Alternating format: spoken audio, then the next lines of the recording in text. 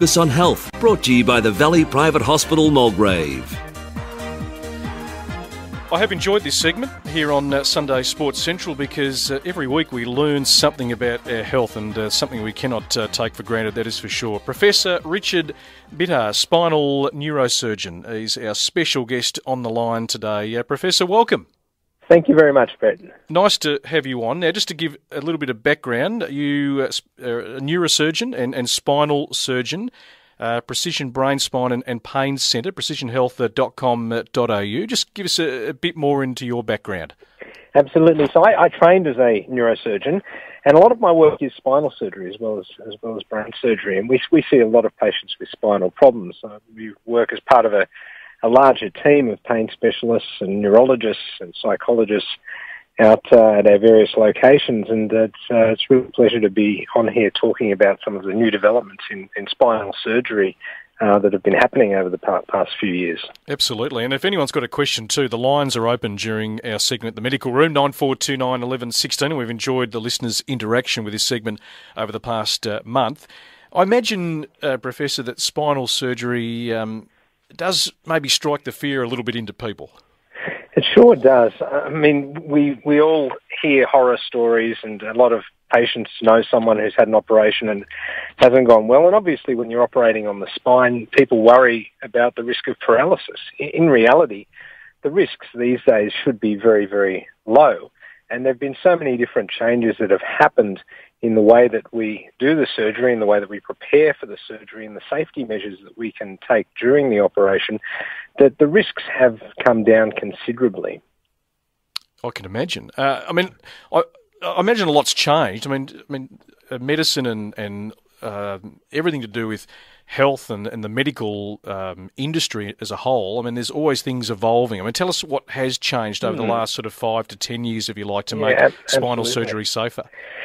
Well, I think before we even get into the operating room, I think we're better at making the diagnosis. And, and, mm. and certainly what I do and, um, and what our team does is we really spend a lot of time trying to figure out exactly where the problem's coming from. Because in the past, I think a lot of people that had spinal surgery, maybe they didn't have it in the right place or maybe the right problem wasn't identified. But we've got better quality imaging now. We've got fantastic experts who can put needles and uh, injections of other sorts of local anesthetic and cortisone in very specific places to establish exactly what the patient's problem is. So I think the key thing is getting the right diagnosis, uh, selecting the patients appropriately for surgery, and then of course you get into the operating room and a lot's changed there. I mean, it's like the motor car. Uh, the cars that we drive now probably a lot different to what we drove 20 years ago. We've got GPS systems in our cars. We've got GPS systems now in our operating theatres that, that allow us to get to the right place without causing any major problems elsewhere and to do it faster, more efficiently and, and more safely. We're, we're seeing a lot of changes in, in, in terms of the technology that we have in the operating theatre that makes spinal surgery much safer than it, uh, than it was previously. Professor Richard Bittar is our special guest, a spinal neurosurgeon here in the medical room, 9429 11 16. We might just look inside some of those advances. Take me mm-hmm. through keyhole spinal surgery. Mm. Keyhole spinal surgery is something that has really uh, developed um, uh, on, on the basis that if you make a smaller incision, you cause less destruction and damage to other tissues to get to where you need to be.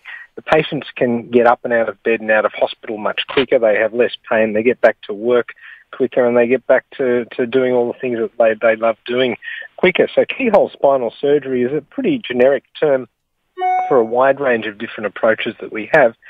But generally speaking, it refers to us making smaller incisions. Uh, we use uh, microscopes and a lot of magnification and a lot of other toys that allow us to remove the problem um, uh, without disrupting the surrounding areas uh, more than we, we absolutely need to. So keyhole spinal surgery you know, has been a major advance for patients. Okay, and more recently, um, Richard, robotic spinal surgery, which is uh, mm. is really interesting. Yeah, robotic spinal surgery, I think, is the most exciting yeah. thing. And I mean, and it's time I noticed that this this segment sponsored by the Valley Private Hospital, and mm. you know, robotic spinal surgery is something. There isn't a robot for spine in Victoria at the moment. There's only one other one in Australia, but uh, as far as I'm aware, the Valley Private will be getting a robot um, probably early next year, and this treatment will be available to, to Victorians with a handful of surgeons like myself performing this down there. The, the way the robot works is it combines a really space-age GPS type system with a whole pile of other technological advantages to create almost a an assistant for the surgeon. So the robot helps the surgeon to be more precise, to be able to put screws into various parts of the spine, to be able to do other things that normally might take a lot longer and normally might be associated with a higher risk. I mean, uh, there's, a, there's a risk of human error there. There's a risk of putting the screw in the wrong spot. Now, if you use the robot, but studies that I've seen suggest that the accuracy rates for screw placement go up to 80, uh, go up to 98 or 99 percent, or even more in some in some cases. So okay. what we're what we're getting out of this this robot, and hopefully we will have it, is an opportunity to really reduce the risks of spinal surgery uh, even more, and hopefully make the operation more likely to be successful for our patients.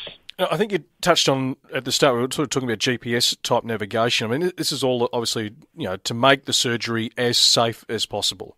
Yes, yeah, absolutely. Just like you can get lost driving down the street, um, you know, if things look, uh, you know, if things have been distorted in the, the spine by a lot of degenerative changes or trauma or other pathology, it's possible to get a little bit uh, lost in the spine as well, and in the brain for that matter. And so, what GPS allows us to do is to really know exactly where we are, so within a, a millimetre or two quite often, um, and to, to reduce that chance of wandering off somewhere where you don't want to go, and to be able to stay focused on the area that really requires attention. Okay. Uh, if you've got a question for uh, Professor Richard Bittar, spinal neurosurgeon, give us a call, 9429 1116 in the medical room, thanks to the valleyprivate.com.au. I want to maybe go back a step uh, Professor, just in terms of mm-hmm. before you actually get into the operating theatre and, and yes. the procedures you sort of got to go through and what that requires?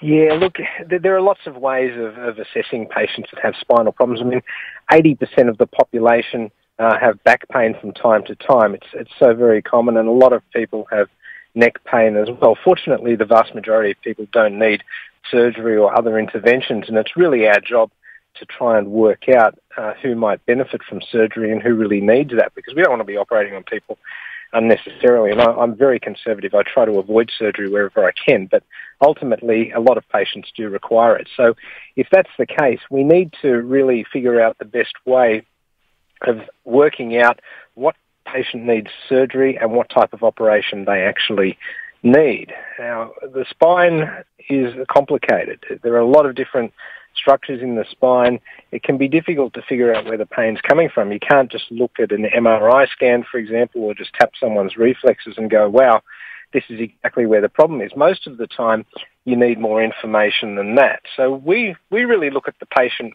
more as a whole. We use a variety of different approaches. We have a, a team of specialists, including pain specialists, neurologists, so we can do a variety of different blocks, nerve conduction tests. We do a whole pile of fancy scans. And then I sit down and we synthesize that information. So what we then do is we say, okay, this is where everything is pointing to that the problem is, and what can we then do about it? I think that's a, that seems to me to be, you know, intuitively a, a much uh, safer and much smarter approach to figuring out how to, to manage patients that can be very, very difficult to manage sometimes. Okay. It's just a, an interesting SMS that's uh, come through. I'll just read this out. Guys, I see that Michael Clarke, the Australian cricket captain, um, agitates then uh, pops his back. His reactions and subsequent layoff echo my issues. A uh, L45 uh, bulge that stops me in my tracks uh, every uh, eight or so months. How does the captain of the Australian cricket team not have a solution to his uh, back problems by now? I mean, it's something that has plagued him for a long time, and there's debate whether he's mm. going to continue playing uh, one day cricket uh, because of the strain or just mm-hmm. Uh, remain playing uh, Test cricket. I mean, it's a, it's a part of the body that um, I suppose a lot of people never get totally solved, do they? I mean, you see people have back issues and for you know, a large part of their life. Mm, absolutely, and some people do. Some people go without finding the right solution to their problem, and some people are just unlucky, or for genetic reasons or other reasons, they they don't uh, they don't really get a, a, a great outcome. But for most people that present with a disc prolapse like that, there's usually something we can do to significantly uh, help. It's uncommon to, to have patients that we really can't help at all. You've got to remember with, with cricketers and other um, you know, professional sportsmen and women, they put their bodies and their spines under a lot of pressure. And the things that might work for you or I in terms of a treatment in the operating theatre, you know, is that going to necessarily stand up to the extra pressure that some of these professional athletes put on themselves? Now, having said that, lots of athletes, I've operated on professional cricketers and other professional athletes that have had disc problems and they've been able to get back to, to, to playing at the, the, the, same sort of level that they were mm. before. So you can have some success.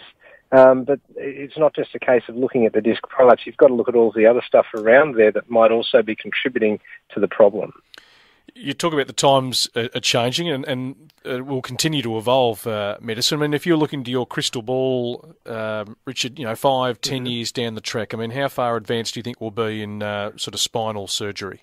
Well, I think we are. We will be much, uh, much further advanced. I think that we're seeing, I think, things like the robotic spinal surgery and the navigation during surgery uh, will just become more and more uh, accessible to, to specialists and patients in, in a variety of, of hospitals. I think that we're seeing a, a, new era of disc replacement where we're treating the neck and in some cases the lower back like a hip or a knee in, in some patients and replacing the discs rather than fusing them. Uh, that's something that's that's uh, evolving and is becoming uh, as being done more commonly. I'm certainly doing that more commonly than I was a few years ago.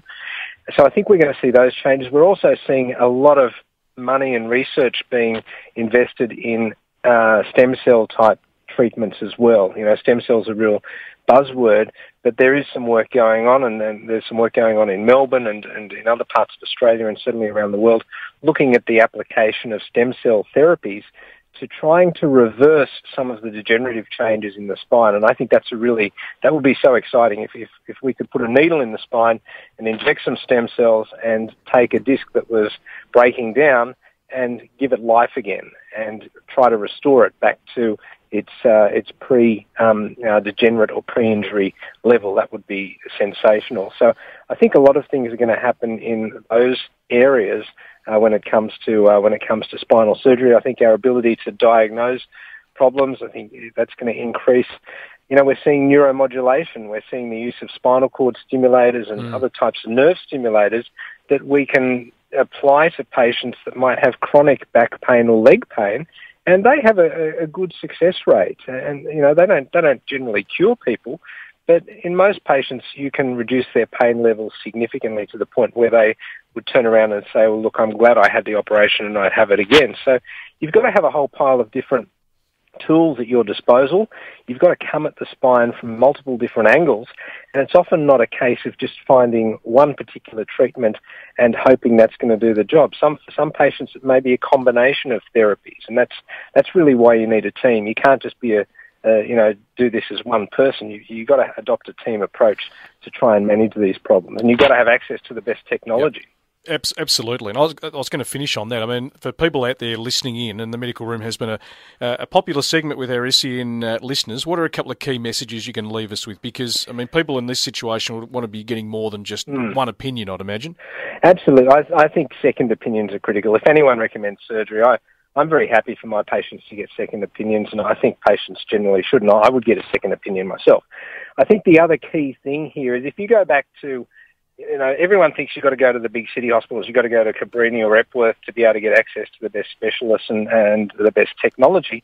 Well, maybe that was the case a while ago, but if you go back to the mid 90s when the Kennett government was reorganising health services, um, Neil Henderson, who's now CEO of the Valley Private, was heading up a committee there, and, and they really oversaw and uh, came up with the uh, uh, development of these regional um, uh, networks. So they took about 35 or 36 independent public hospitals and they put them into uh, groups. And that allowed a lot of specialised services to be able to be delivered to patients closer to where they live. It's, it's actually unusual, but it's taken the private sector some time to catch up with that. And what we're seeing now, and, and the Valley is a great example. It's, it's arguably one of the best placed private hospitals, and you know, with investing in some really good technology. But we're seeing, you know, a hospital like that, for example, that's invested tens of millions of dollars in technology. Mm. So patients can go and have these uh, procedures. They can be treated closer to where they live. They don't need to drive all the way into the city for these things. So I think local access, and if you've got a spine problem or if you've got a brain problem, you don't want to have to be travelling long distances if you can avoid it. So the take-home messages are get a second opinion, look for a team. Don't just look for one person, but look for a whole team of people that can uh, apply all of their uh, energy to trying to figure out what's wrong with you and help you. And don't assume that the specialists and the technologies are not available in some of these um, uh, hospitals that are located around Melbourne because what we're seeing now, and the robot's a great example, is we're seeing some of these hospitals like the Valley uh, really lead the way in, in, in that regard. Very interesting stuff. Uh, thevalleyprivate.com.au you can log on to for more information. Professor, thank you for coming on. I'm sure some listeners will be uh, taking some notes uh, this afternoon and uh, really appreciate the insights. No problems, Brett. Thanks very much for having me. Professor Richard Bittar, spinal neurosurgeon, joining us this week in the medical room. For the Valley Private Hospital Mulgrave, In the Medical Room returns next Sunday on 1116 SEN, Melbourne's home of sports.